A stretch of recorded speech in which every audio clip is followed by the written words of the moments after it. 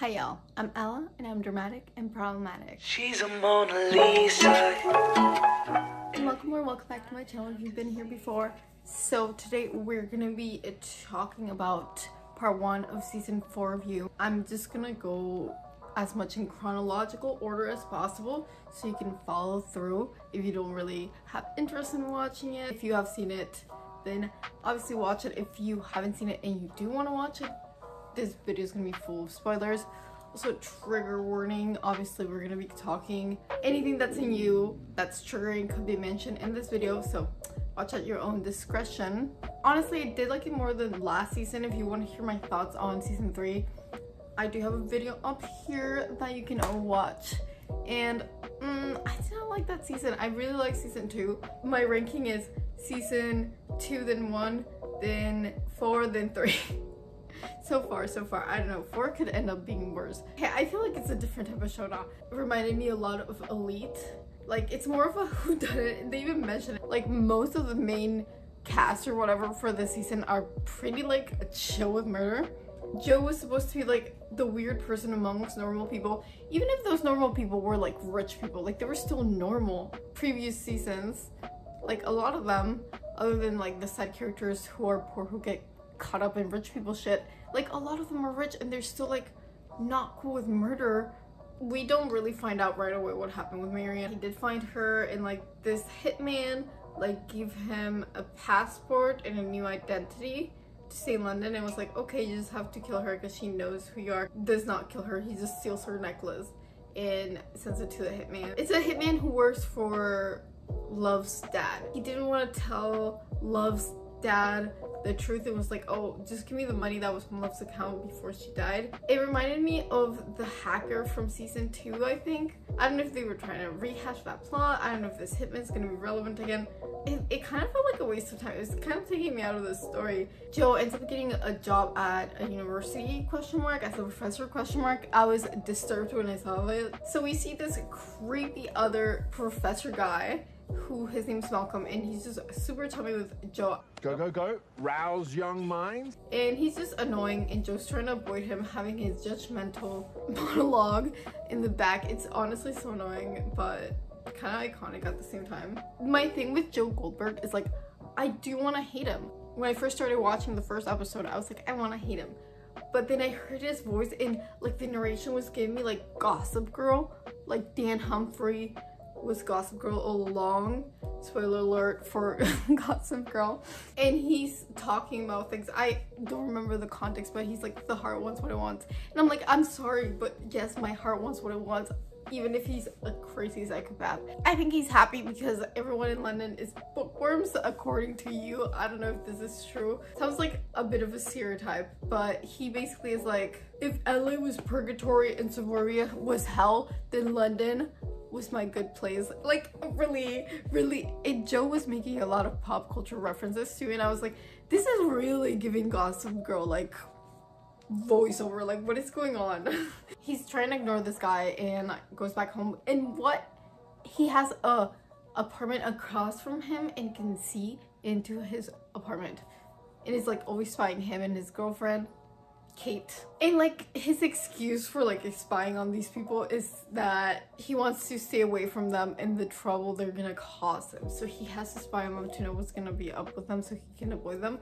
Question mark, you're delusional. So Kate is at the university one day and is getting basically attacked at her car by these two guys. Joe, nice guy he is, goes and saves her. It's like, oh, just don't tell like police about me because like my work visa is shaky. She's like, oh, okay, but she's kind of like a cold person and it's like, well, let me drive you home. Well, I'm just gonna leave it at that. Like, I'm not gonna say anything to Malcolm because if I say anything else, like they're gonna rope me into things and I don't want it.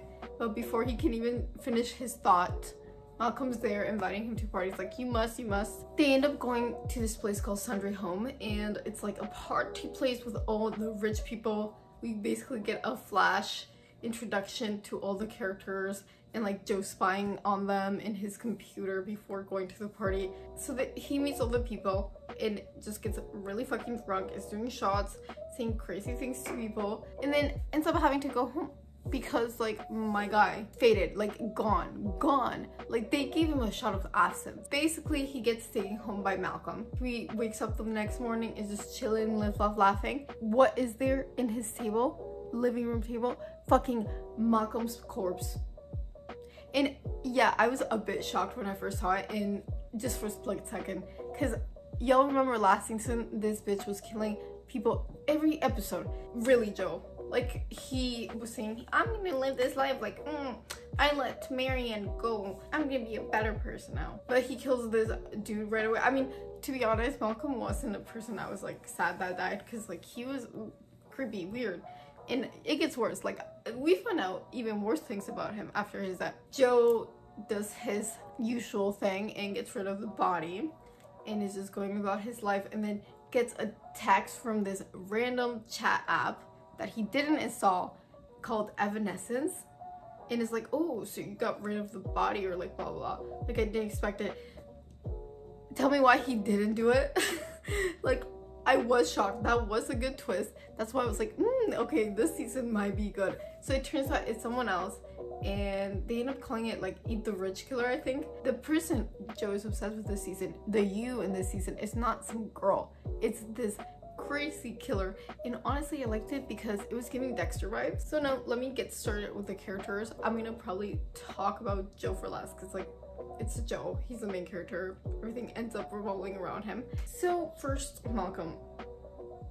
We built this country, and what thanks do we get for it? Ah, yes, definitely builder's hands. So he was like just drunk at work uh, as a professor, and of course he likes Joe. Like he was just ew, ew, ew. But somehow this guy, he's like the son of a duke or something like that. Like, and he's dating this girl Kate, but he's also effing around with a bunch of other people. I guess she knows they have the type of relationship it's open i guess. And then he was sleeping with his student. Speaking about his student we have nadia. I don't know she was the first shot. And like joe and her don't ever like kiss or anything. We'll see if anything happens in the second part because it was just creepy. They were just hanging out around each other a lot. Find out she and malcolm had an affair so I don't know if that's why she was around Joe that much, but she was just giving me the vibes like the reporter from season two. It was giving me very much that character. Joe was like, oh, we have to acknowledge that Gen Z are actually adults now, blah blah, and just kind of standing up for Gen Z. And I was like, oh, oh, what's happening, Joe? Like, I'm liking you more and more this season. she was judging Joe and having like a really good back and forth with him about who done it and whatever. And then he offered to read her book I don't know, there's some vibes there and like I just don't like it for her because I do think she's a good person and like just chill so I'm like mm, stay away from her. So then we have Kate. Malcolm's girlfriend. She's a workaholic. We learned this because Joe's spying on her through the window and is she's always on her computer working while Malcolm is out there sleeping with his students. I guess she isn't technically the main girl. All the girls before were really into him and she's not really into him that much. She's really pushing him away. Are you surprised I can read or something? Why are you staring at them? I don't think Joe was really into her that much at the beginning either. TBH, he was just being a creep because that's what he does. But she was just like sussing him out. Like, you know, she didn't send the police to him at first, obviously, but then after Malcolm went missing, she sent it to him right away and was like, mm, mm, mm. I hope you had a good time with the police and it's just being rude to him honestly. He's not he's not much nicer. He's following her around and being creepy and she just kind of picks up on the creepy vibes and then ends up psychoanalyzing him. I was like pop off queen. I just i don't like her as a love interest. I think she was too smart. I think she should have figured out i mean technically he wasn't the killer this season so like i guess i give her a pass. We end up finding out like she's actually the richest of like the whole group. I was sus on her mm, like i honestly did think like oh my god it was gonna be her. They have a moment where you think it was her. There's someone who is dead and she's standing over the corpse and joe walks in on it. And he's like oh but she's like no no no no like i just found it like this like what is going on and he helps her get rid of the body. It's a whole mess. I i don't think they had that much chemistry. Like the actors didn't do a bad job i don't think but it was no freaking victoria pedretti. So yeah moving on to the next person is lady phoebe. We're introduced to at the party as well. She is one of the first people i think joe meets right away and she's kind of like seems like to be the leader of these people like everyone follows her lead honestly. If you're in with phoebe you're in with the group. When joe is blackout i don't know what the fuck joe says to her but she keeps mentioning it. She's inviting him to all the events. Obviously it's kind of suspicious. I mean right away they don't assume that malcolm's missing because malcolm's a piece of shit. The killer actually sends the freaking finger he cut off the finger and sent it to the police. Anyway, she is dating this guy Adam, which we'll talk more about later, but they're having kind of some issues. So obviously right away I got vibes with her and Joe. We could tell she's into him. She kind of tries to go in for it and at this point Joe's already hooked up with Kate. Backtracks and she's really sad. Like she's like, oh my god, you're rejecting me.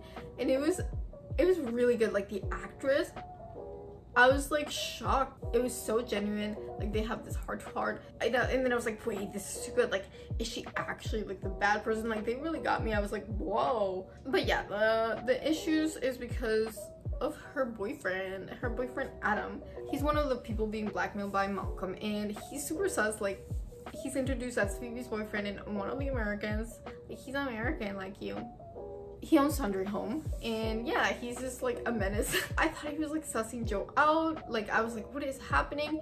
And then like Joe's like following him and sees his kink. He likes getting golden showers from servants. And so that's what Malcolm was blackmailing him with. But hold on. Lady Phoebe's servant followed him and like beats him up. It's it was a menace. It was a menace moment. When he and Lady Phoebe have that heart to heart, he ends up telling Phoebe the truth. And so Phoebe like goes to Adam and it's like, oh like I know the truth, like I know you have a kink, darling. He's like not telling her and ends up telling her she's about to do it. And he's not into it at all. She's like, what's going on? And then he's like, mm, I just like it because you know the servants that are beneath me. And then she's like, oh, we can't do this because like you you feel like I'm above you. So obviously he does feel like that because throughout the series we see like basically poor. He is losing money and he's in debt with people. His daddy is not gonna take him out of the red this time because his daddy's done this too many times and he's sick of it. So he was gonna propose because, oh, if I marry her, all the debt goes away.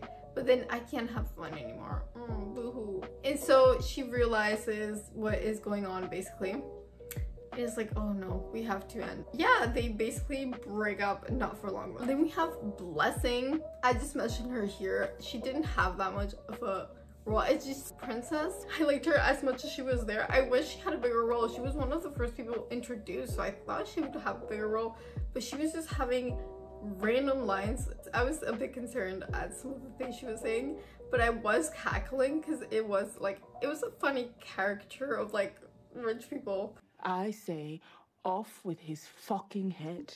No context to this because I'll give the context later. then we have Simon, the other person who freaking Malcolm was blackmailing because he has this art gallery opening and whatever. He was just very off-putting before the art opening that he had. I don't know, he was just shown eating the one scene and like after when Joe was thinking or talking about him, they kept going back to the shot of him eating and like chewing and like I don't know if I'm misremembering, but I'm pretty sure they had the sound effect of him chewing both times. And it was just like very off-putting for me. They were making him the red herring. And I mean, there's literally a point where Nadia, she has the line where she's like, oh, usually the person who's the most suspicious at the beginning is the second victim and this guy turns out to be it. So i guess they were doing it on purpose. And his paintings were so beautiful. But then this girl comes and like throws paint at his painting. It used to be like an apprentice of him. And like he stole her art. That's basically it. He gets killed. And then it's like linked with malcolm like. And then we have sophie his sister. Honestly not much to say about her. She was like talking a lot of shit in the first episode like during the party to Joe and stuff and then she barely did anything the rest of the season. She was very sad during the funeral like just no room for plot or being a character in the show anymore I guess. She was taking a break and grieving. Fuck off and die Malcolm. Then we have Rhys. He's also introduced at the party. He's just off to the side and is leaving the next day. So it kind of exempts him from blame at first. He has this tragic backstory where he was raised by a single mom and then found out he was the son of a duke. Right away, him and Joe related to each other and they were just like down to earth throughout the season when the other characters are being rich and crazy and i think it's the only person like joe's like saying his honest thoughts to the season and it's it's kind of interesting honestly i shouldn't have talked about him yet because like he has some reveals but i'll talk about him more at the end when i talk about joe. He doesn't show up much. He's just like there and like leaves. Like he is there at the beginning of everything and then leaves. Oh, you're in Europe now, Jonathan. You can get anywhere you want. In Three House. connie the horse guy annoying laugh All they told me is he's a lunatic and owns horses. Like that's literally the only thing I have about him because he was also another super background character. He barely has any lines and he's so annoying. I think he's probably my least liked character of the season just because he was obnoxious. Like some of the other characters, yeah, they're rich and annoying. But like they're funny at least. Then you have Roald. He was in the sidelines for the first few episodes. I was like, what is going on? And then just giving like kind of the side eye to Joe. Comments were kind of on point. Like he wasn't like the horse guy. I was like, okay, okay. And then like he's into Kate. It was just weird. Like it was a bit hinted at, yes. And then it just came on full force. Like just too, too strong, too fast, I feel like. They end up going to this place Lady Phoebe owns, the Hampseys, I think it's called. And we find out Roald was the one who had made for Joe to get invited and it's really weird.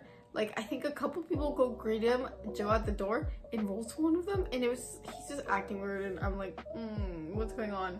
I don't know. His intentions, I don't know that were adding up to me. Of course, we find out he has a camera with creepy photos of Kate rehashing season one, Peach to Beck. Like that's what I've been saying. I, I want to like this season, but it does feel like a remix of a lot of the other things in the other seasons. Like what what is going on? So let's talk about Gemma. Gemma Graham Greene managed to disparage Americans, trans people, the poor, and Jews in a single sentence. She's sick. She's probably the worst character. Like I know I said I didn't like Connie, and it was probably my least favorite character. Gemma was awful, but she had a purpose, and that was to die. She was very one-dimensional and like my notes at the beginning was like i don't think there'd be much development. And there wasn't. She was just awful. And the worst part is i think they're playing croquet and she basically makes the servant be a hoop. Get on your force.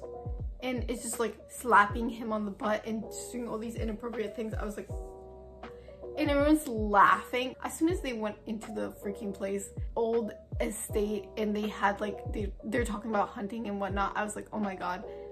They're gonna hunt people like this is gonna happen. And then they're eating dinner that day and she's like looking at joe and just going in to freaking mock him till he breaks basically and starts accusing him of being the, e- the rich killer which like he is a creep and he is awful but like he wasn't. So uh, it's like this whole started when you came here right? So and then obviously she got murdered because she did and that's the girl Kate standing over and whatever. He basically sees Joe going to where him and Kate left Gemma's body but Kate had ended up dropping her bracelet. Joe goes to get it and tell me why Roald's spying and sees him and then goes after him like oh wait you killed her and then goes to this like the living room where everyone is like it's with a gun just like saying like he's gonna kill him. It's like oh this is the eat the rich killer and like the other rich people are like oh my god like blah blah, and they're just going crazy and then it's like oh i'm gonna shoot him.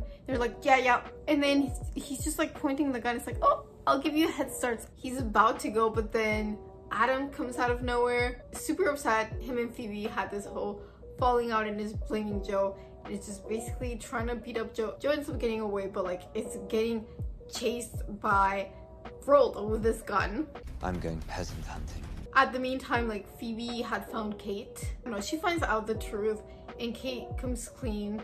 Really just chasing him and like laughing and cutting it up. It's not him. He gets tied up and knocked out. And then Joe wakes up in the cell and it's like, oh, what is going on? So Joe, he was like so paranoid this season and once Simon had passed, he was just like going crazy chasing after Kate because the person doing these murders was like saying they were gonna go after Kate next. and he was just trying to protect her because you know he has this savior complex. Not the bodyguard lady phoebe's bodyguard was there. So the freaking person had planted malcolm's ring on joe and the bodyguard ends up finding it. It's like oh my god it was you. You're the killer blah blah blah and so Joe turns around and like ends up killing him. To be fair, I also am I wrong that this is the only person Joe kills this season? I think it is. Good job, Joe. Honestly, it's a good improvement from last season. He's just trying to find out who this killer is, and then the killer's like, "Ooh, how did it feel?" Joe's trying to be all hypocritical in his head and be like, "Oh, it was sick. Like this person's sick, blah blah." And then he realizes, "Oh, this killer wants me to like it. Wants me." To be like him because they want a friend. Like, I'm telling y'all, Dexter. If y'all remember Miguel, season three, I think, from Dexter, it was giving that. And that was like when Dexter was at his best. After that, it kind of went downhill. I think especially poignant, and I don't know if that's what they were trying to reference. I don't know if the writers had this in mind, but the person who ends up being the murderer is Rhys, who is also trying to run for mayor now. I don't remember exactly when Miguel was, but I think it's senator. Don't quote me on that. But like this guy's also trying to run for office. Similar type of premise, and he's actually like it's like the eat the rich killer, and he's locked up Joe enrolled, and it's like, okay, Joe, find a way to kill this guy. And just like yes, yes, like pretending to go along with it as he pretended to go along with it in Evanescence before. And so Rhys is like, okay, okay, we'll see and like leaves. Joe's morality system is like really weird. I don't know if this is like the point of the season. Are they gonna address his morality system? Because like Rhys is trying to get him to confront. Because he's saying like you're not any better, and I'm just like Joe, listen to Rhys. Like why all these are names also Roald Rhys? Like I'm getting confused. He does not listen, and Rhys is upset after, so he is like, okay, y'all are dying. I'm gonna burn this place to the ground. Fuck y'all. And so he starts trying to get out. He ends up getting his chains off, and Roald's screaming at him, and just like, okay, I'll help you. Like chill. But they can't really get out, and they're just trying to see what's gonna happen. And then Kate comes and is just helping them. So that's basically how they get out. It was all along. Like, it's obvious though, it's obvious. We see this montage of Rhys being his crazy self and just giving interviews, being a psycho on television. Joe being delusional about himself. Like, what's new? What's new? Honestly, I was so annoyed because I feel like Joe was really, really guilting this guy. And it's like, who's he killing? Gemma? Gemma, who's sexually harassing her staff. I mean, I'm not saying that people should be murdered for that. Joe did way worse things, unaliving people left and right for no reason. Like, Beck, I don't think Beck was like a bad person. Like, she did some like not great things in the scale of things, but compared to these people, like, she she was a good person. She was a decent person. Like, I understand you don't want to see a serial killer on the loose, but you're a serial killer on the loose, so chill. Chill out. It's like he gets intimidated. So yeah, his obsession is Rhys. Like he's like, sorry, Kate, but like I can't be with you. I'm already, I already have someone else. Can we get gayness? I don't think we'll get gayness out of it, but I was like, wow. But like the issues, I don't feel like we get that much of Rhys. Like I don't think I know him that much. We barely see him. It feels like the elite format. They aren't cutting back and forth like that, but it just, it reminded me a lot of elite. They're just older people like actually of age, so it's less creepy. It's not an ensemble cast type of thing. I mean, like, it is kind of because there's so many characters this season. Like, the poster even to me looks like out of Elite or some type of thing like that. I don't know, the more I'm talking about it, the more annoyed I'm getting with this season. But I, I guess it's only half a season. So like once we get the other half, it's probably not gonna be as bad. Maybe maybe I'll get more attached to the characters. What are my theories? I think Rhys might die. If Joe doesn't die, like, is this the last season? Okay, well, from what I'm seeing, Penn Badgley says he signed a six-year contract so they could do two more seasons. Uh, they definitely haven't shot this as like the last season then. I don't think Joe dies, so we might have Rhys die. Maybe Kate as long as Lady Phoebe doesn't die, I'm fine. Anyways, yeah, I don't know. That That's my thoughts. It's a little all over the place. Let me know what you guys thought. Let me know what characters you liked. Uh, did I miss any characters? Probably. Who knows? It was a mixed bag. I don't know. like I know I said I liked it better than season three, but like I'm questioning that back. I haven't watched season three in a year though, and I'm remembering the anti-vaxxers, and I'm just like, I feel like there was less deaths this season, and like every death had more purpose than any of the deaths last season had, to be honest. So this was just better to me. Like it was just, it made more sense. So if you like this video, don't forget to like, comment, and subscribe, and leave a super thanks if you like to, but you don't have to. It's a free world. So I hope you're having a fabulous morning, afternoon, night, whatever time it is for you. I love you guys so, so, so, so much. Mwah. She's a Mona Lisa. Everyone's lining up to see her.